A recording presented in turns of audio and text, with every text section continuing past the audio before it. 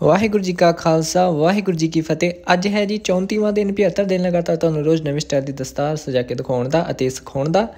ਅੱਜ ਅਸੀਂ ਤੁਹਾਨੂੰ 3 ਮੀਟਰ ਦਾ ਸਿੰਗਲ ਰੂਬੀਆ ਵੈਲ ਕੈਮੀਕਲ ਕੱਪੜੇ ਦੇ ਵਿੱਚ ਸਿੰਗਲ ਪੰਨਾ ਸਜਾ ਕੇ ਦਿਖਾਣਾ ਆ।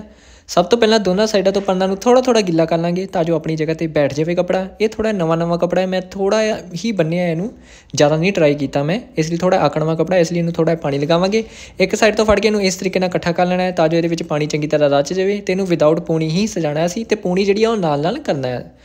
ਤੇ ਹੁਣ ਆਪਾਂ ਬੇਸ ਸਜਾਣਾ ਆ ਦੇਖੋ ਮੇਰੇ ਵੀਰੋ, ਪੰਨੇ ਦਾ ਟਿਊਟੋਰੀਅਲ ਮੈਂ ਅੱਜ ਇਸ ਲਈ ਦੇ ਰਿਹਾ ਕਿਉਂਕਿ ਜ਼ਿਆਦਾਤਰ ਮੇਰੇ ਵੀਰ ਕਈ ਇਦਾਂ ਦੇ ਹੋਣੇ ਨੇ ਵਿੱਚ, ਜਿਹੜੇ ਰੈਗੂਲਰ ਦਸਤਾਨੀ ਸਜਾਉਂਦੇ, ਉਹ ਪੰਨਾ ਸਜਾਉਂਦੇ ਨੇ। ਤੇ ਅੱਜ ਅਸੀਂ ਤੁਹਾਨੂੰ ਮੋਨੀ ਸਟਾਈਲ ਪੰਜ ਪੇਚਾਂ ਵਾਲਾ ਪੰਨਾ ਸਜਾ ਕੇ ਦਿਖਾਵਾਂਗੇ। ਤੇ ਅਗਲੇ ਆਪਣੇ ਕੰਮ ਦੇ ਹਿਸਾਬ ਨਾਲ ਹਮੇਸ਼ਾ ਨਾ ਕਈ ਵਾਰ ਸੋਚਦੇ ਹੁੰਦੇ ਕਿ ਅੱਜ ਅਸੀਂ ਪੰਨਾ ਬੰਨਣਾ ਜ਼ਿਆਦਾਤਰ ਮੇਰੇ ਵੀਰ ਪੰਨਾ ਸਜਾਉਂਦੇ ਨੇ ਡੇਲੀ ਰੂਟੀਨ 'ਚ, ਇਹ ਵੀਡੀਓ ਉਹਨਾਂ ਲਈ ਆ।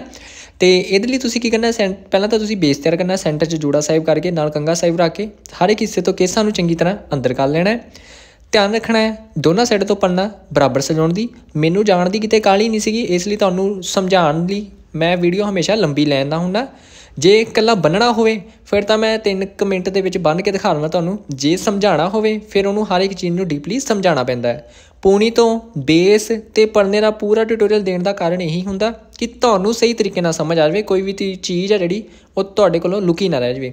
ਇਹ ਦੇਖ ਸਕਦੇ ਤੁਸੀਂ ਖੱਬੇ ਪਾਸੇ ਅਸੀਂ ਕੰਨੀ ਰੱਖਿਆ ਉੱਪਰ ਸਾਡਾ ਧਾਗੇ ਵਾਲਾ ਹਿੱਸਾ। ਯਾਦ ਰੱਖਿਓ। ਤੇ ਹੁਣ ਸੱਜੇ ਪਾਸੇ ਸਾਡੇ ਧਾਗੇ ਵਾਲਾ ਹਿੱਸਾ, ਖੱਬੇ ਪਾਸੇ ਕੰਨੀ ਆ, ਦੋਨਾਂ ਸਾਈਡਾਂ ਤੋਂ ਕੱਪੜਾ ਅੰਦਰ ਕਰ ਲੈਣਾ ਹੈ। ਦੇਖੋ ਕਿਸ ਤਰੀਕੇ ਨਾਲ ਕਰ ਰਿਹਾ ਮੈਂ। ਦੋਨਾਂ ਨੂੰ ਅੰਦਰ ਬਰਾਬਰ ਕਰਨ ਤੋਂ ਬਾਅਦ ਚੋਂ ਇਸ ਤਰੀਕੇ ਨਾਲ ਲੜ ਬਣ ਜਾਣਾ ਤੁਹਾਡਾ। ਜਿੰਨਾ ਕਿ ਤੁਹਾਨੂੰ ਪਤਾ ਹੈ ਤੁਹਾਡਾ ਲੜ ਪੂਰਾ ਆ ਜਾਵੇ, ਉਸ ਤਰੀਕੇ ਨਾਲ ਮੂੰਹ ਦੇ ਵਿੱਚ ਲੜ ਫੜ ਲੈਣਾ ਹੈ। ਉੱਪਰੋਂ ਜੀ ਪੱਲਾ ਖਿੱਚਣਾ ਹੈ ਉੱਪਰਲਾ, ਤੇ ਉਹਨੂੰ ਪਹਿਲਾਂ ਖਿੱਚ ਕੇ ਇੱਕ ਵਾਰੀ ਸਿੱਧਾ ਕਰ ਲੈਣਾ ਹੈ ਕਿ ਇਹਦੇ ਅੰਦਰ ਕੋਈ ਵਲਵਲੇਵਾ ਤਾਂ ਨਹੀਂ ਹੈਗਾ। ਤੇ ਇਸ ਤਰੀਕੇ ਨਾਲ ਪਹਿਲੇ ਲੜ ਨੂੰ ਤੁਸੀਂ ਅੰਦਰ ਨੂੰ ਫੋਲਡ ਕਰਨਾ ਹੈ, ਇੱਕ ਵਾਰੀ ਖੋਲ ਕੇ ਚੰਗੀ ਤਰ੍ਹਾਂ। ਫੋਲਡ ਕਰਕੇ ਤੁਸੀਂ ਇਹਦੇ ਨਾਲ ਇੱਕ ਐਦਾਂ ਦਾ ਲੜ ਬਣ ਜਾਊਗਾ ਜਿਹੜਾ ਤੁਹਾਡਾ ਲੜ ਖਿਸਕੂਗਾ ਨਹੀਂ, ਤੇ ਨਾ ਹੀ ਇਹ ਪਤਲਾ ਹੋਊਗਾ। ਪੂਰੀ ਵੀਡੀਓ ਦੇਖਣੀ ਹੈ ਮੇਰੇ ਵੀਰੋ। ਜੇ ਤੁਸੀਂ ਸਿੱਖਣਾ ਚਾਹੁੰਦੇ ਹੋ, ਜੇ ਵੀਡੀਓ ਤੁਸੀਂ ਸਕਿਪ ਕਰੋਗੇ, ਤਾਂ ਉਹ ਤੁਹਾਡਾ ਹੀ ਨੁਕਸਾਨ ਹੋਊਗਾ। ਕਈ ਚੀਜ਼ਾਂ ਅਸੀਂ ਐਕਸਟਰਾ ਦੱਸਣੀਆਂ ਹੁੰਦੀਆਂ ਹਰ ਇੱਕ ਵੀਡੀਓ ਦੇ ਵਿੱਚ। ਤੇ ਪਹਿਲੇ ਪਹਿਲੇ ਨੂੰ ਤੁਸੀਂ ਦੇਖ ਲਓ, ਜਿੰਨਾ ਕੁ ਲੋਡ ਲੱਗਦਾ ਉਹਨਾਂ ਕੁ ਨੀਵਾ ਲਗਾ ਲੈਣਾ। ਮੈਂ ਉਹਨਾਂ ਕੀ ਲਗਾਇਆ, ਜਿੰਨਾ ਮੈਂ ਦਸਤਾਰ ਦੱਸ ਜਾਂਦਾ ਹੁੰਨਾ। ਪਹਿਲਾਂ ਪੱਲੇ ਨੂੰ ਖੋਲਣਾ ਹੈ, ਫਿਰ ਦੂਜੇ ਪੱਲੇ ਨੂੰ ਉੱਪਰ ਜਾ ਕੇ ਮੈਚ ਕਰਕੇ ਬਰਾਬਰ ਰੱਖਣਾ ਹੈ। ਫਿਰ ਉਹਨੂੰ ਦੋਨਾਂ ਨੂੰ ਅੰਦਰ ਨੂੰ ਫੋਲਡ ਕਰਕੇ ਇਸ ਤਰੀਕੇ ਨਾਲ ਪਹਿਲਾਂ ਲੜ ਬਣਾਉਣਾ ਹੈ ਤੁਸੀਂ। ਇਹ ਚੀਜ਼ ਤੁਹਾਨੂੰ ਜਦੋਂ ਬਾਰ-ਬਾਰ ਪ੍ਰੈਕਟਿਸ ਕਰੋਗੇ ਤਾਂ ਤੁਹਾਨੂੰ ਇਹ ਵੀ ਸਮਝ ਆਊਗੀ, ਇੱਕ ਵਾਰੀ ਪਿੰਚ ਨਾਲ ਲੜ ਨੂੰ ਐਂਡ ਸੈਂਟਰ ਦੇ ਵਿੱਚ ਉੱਪਰੇ ਲੜ ਨੂੰ ਖਿੱਚ ਕੇ ਸਾਫ਼ ਕਰ ਲੈਣਾ ਹੈ। ਚੰਗੀ ਤਰ੍ਹਾਂ ਇਹ ਜਗ੍ਹਾ ਤੋਂ ਜ਼ਿਆਦਾ ਲੜ ਮੋਟਾ ਨਾ ਹੋਵੇ, ਇਸ ਚੀਜ਼ ਦਾ ਤੁਸੀਂ ਖਾਸ ਧਿਆਨ ਰੱਖਣਾ ਹੈ। ਇਸ ਲੜ ਨੂੰ ਤੁਸੀਂ ਇੰਨੇ ਕੁ ਗੈਪ ਤੇ ਲਗਾ ਦੇਣਾ ਹੈ ਕਿ ਜਿੰਨਾ ਤੁਹਾਡੀ ਦਸਤਾਰ ਦੀ ਜਿਹੜੀ ਸ਼ੇਪ ਆ ਉਹ ਬਾਅਦ ਦੇ ਵਿੱਚ ਪ੍ਰੋਪਰ ਆਵੇ। ਤੇ ਪਿੱਛੇ ਤੱਕ ਲੜ ਨੂੰ ਸਾਫ਼ ਕਰਨਾ ਹੈ। ਦੋਨਾਂ ਸਾਈਡਾਂ ਤੋਂ ਜਿੱਦਾਂ ਤੁਸੀਂ ਪੰਨਾ ਸਜਾ ਰਹੇ ਹੋ ਨਾ, ਇਸੇ ਤਰੀਕੇ ਨਾਲ ਧਿਆਨ ਰੱਖਣਾ ਹੈ। ਦੋਨੋਂ ਪੱਲੇ ਬਰਾਬਰ ਕਰਨੇ ਆ, ਫਿਰ ਦੋਨਾਂ ਨੂੰ ਇਕੱਠਿਆਂ ਨੂੰ ਅੰਦਰ ਨੂੰ ਫੋਲਡ ਕਰਕੇ ਉੱਪਰਲੀ ਸਾਈਡ ਤੇ ਮੋਟਾ ਹਿੱਸਾ ਰੱਖ ਕੇ ਲੜ ਨੂੰ ਲਗਾ ਦੇਣਾ ਹੈ। ਫਰੰਟ ਤੋਂ ਜਿਹੜੀ ਪੰਨੇ ਦੀ ਸ਼ੇਪ ਆਸੀ ਮੋਨੀ ਸ਼ੇਪ ਦੇ ਵਿੱਚ ਰੱਖਣਾ ਹੈ ਤੇ ਪੰਜ ਪੇਚ ਵਾਲਾ ਪੰਨਾ ਹੋਊਗਾ, ਇਹਨੂੰ ਇੱਕ ਵਾਰੀ ਪਿੰਚ ਕਰਨਾ ਹੈ। ਥੋੜੇ ਥੋੜੇ ਲੜਨਾ ਅਸੀਂ ਉੱਪਰ ਨੂੰ ਲੈ ਕੇ ਜਾਣੇ ਆ। ਬਰਾਬਰ ਨਹੀਂ ਰੱਖਣੇ ਇਹਦੇ ਵਿੱਚ। ਕਿਉਂਕਿ ਜੇ ਅਸੀਂ ਲੜ ਬਰਾਬਰ ਰੱਖਾਂਗੇ ਤਾਂ ਪੰਨਾ ਸਾਡਾ ਤਿੱਖਾ ਜਿਹਾ ਹੋਣਾ ਸ਼ੁਰੂ ਹੋ ਜਾਣਾ। ਤੇ ਆਪਾਂ ਬੰਨਾ ਹੈ ਥੋੜਾ ਸਿੱਧਾ ਪੰਨਾ ਬਰਾਬਰ ਦੋਨਾਂ ਸਾਈਡਾਂ ਤੋਂ। ਇਸ ਲਈ ਥੋੜੇ ਜਿਹੇ ਪੇਚ ਜਿਹੜੇ 1 ਬਾਈ 1 ਥੋੜੇ ਥੋੜੇ ਉੱਪਰ ਨੂੰ ਲੈ ਕੇ ਜਾਣੇ ਆ। ਤੇ ਪਿੱਛੇ ਤੱਕ ਤੁਸੀਂ ਪੇਚਾਂ ਨੂੰ ਸਿੱਧੇ ਕਰਕੇ ਲਗਾ ਦੇਣਾ ਤੇ ਸਾਫ਼ ਕਰਕੇ ਲਗਾਉਣਾ ਹੈ। ਸਾਰੀ ਦਸਤਾਰ ਦੀ ਪੂਣੀ ਆ ਜਿਹੜੀ, ਉਹ ਨਾਲ ਦੀ ਨਾਲ ਸਟੈਪ ਬਾਈ ਸਟੈਪ ਕਰਨੀ ਆ। ਉੱਪਰੋਂ ਜੀ ਲੜ ਨੂੰ ਫੋਲਡ ਕਰਕੇ, ਉੱਪਰਲੇ ਪੇਚਾਂ ਵਾਂਗ ਬਰਾਬਰ ਰੱਖ ਕੇ ਤੇ ਨੀਚੇ ਨੂੰ ਜਿਹੜਾ ਸਿੰਗਲ ਪੱਲਾ ਹੋਊਗਾ ਉਹਨੂੰ ਖਿੱਚ ਕੇ। ਦੇਖੋ, ਜਿੱਦਾਂ ਤੁਹਾਨੂੰ ਦਿਖਾ ਰਿਹਾ, ਤੁਸੀਂ ਵੀ ਇਸੇ ਤਰੀਕੇ ਨਾਲ ਕਰਨਾ ਹੈ। ਬਾਕੀ ਤੁਹਾਡੀ ਪ੍ਰੈਕਟਿਸ ਕੀਤੀ ਹੋਏਗੀ ਤਾਂ ਤੁਹਾਨੂੰ ਹੌਲੀ-ਹੌਲੀ ਚੀਜ਼ਾਂ ਸਮਝ ਆਣੀਆਂ ਸ਼ੁਰੂ ਹੋ ਜਾਣਗੀਆਂ। ਤੇ ਇਸ ਪੱਲੇ ਨੂੰ ਵੀ ਥੋੜਾ ਉੱਚਾ ਲਗਾਇਆ। ਬਸ ਪੇਚਾਂ ਦਾ ਜਿਹੜਾ ਗੈਪ ਆ ਫਰੰਟ ਤੋਂ ਤੁਸੀਂ ਉਹ ਬਰਾਬਰ ਰੱਖਣਾ ਆ। ਪਿੱਛੇ ਤੱਕ ਦੋਨੋਂ ਪੇਚ ਆ ਜਿਹੜੇ ਤੁਸੀਂ ਸਹੀ ਤਰੀਕੇ ਨਾਲ ਲਗਾਣੇ ਆ।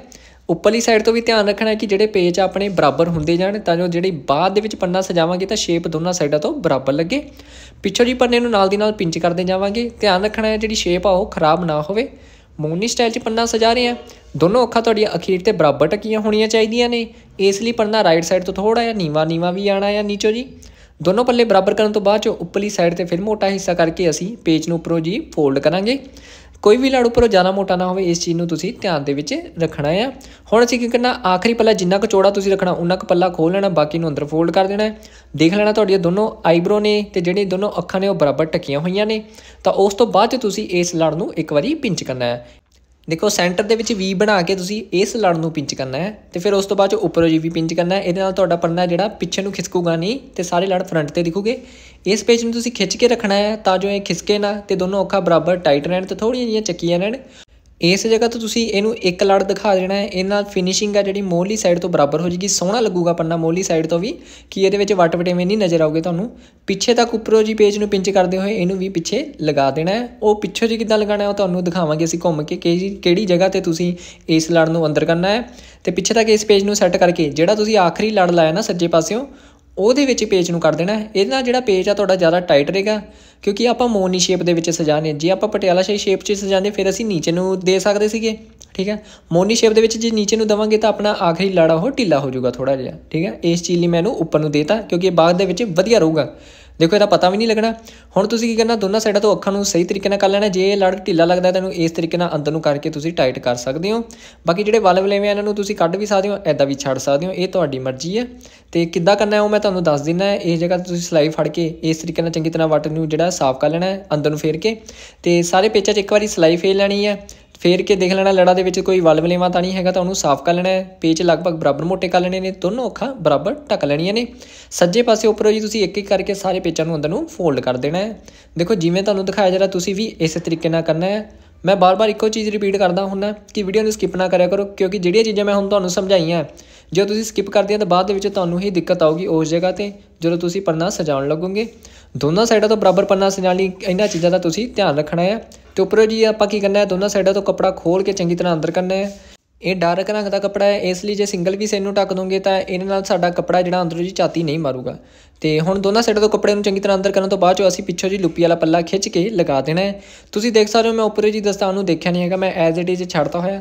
ਕਿਉਂਕਿ ਆਪਾਂ ਪੰਨਾ ਸਜਾ ਰਹੇ ਹਾਂ। ਇਹਦੇ ਵਿੱਚ ਜ਼ਰੂਰੀ ਨਹੀਂ ਤੁਸੀਂ ਹਰ ਇੱਕ ਕਿਸੇ ਨੂੰ ਜ਼ਿਆਦਾ ਸਫ਼ਾਈ ਕਰਨ ਦੀ ਕੋਸ਼ਿਸ਼ ਕਰਨੀ ਹੈ। ਜੇ ਤੁਹਾਡੇ ਕੋਲ ਜ਼ਿਆਦਾ ਟਾਈਮ ਹੈਗਾ ਨਾ ਜੇ ਜ਼ਿਆਦਾ ਟਾਈਮ ਹੈਗਾ ਤਾਂ ਫਿਰ ਤੁਸੀਂ ਹਮੇਸ਼ਾ ਦਸਤਾਰ ਸਜਾ ਕੇ ਹੀ ਜਾਓ।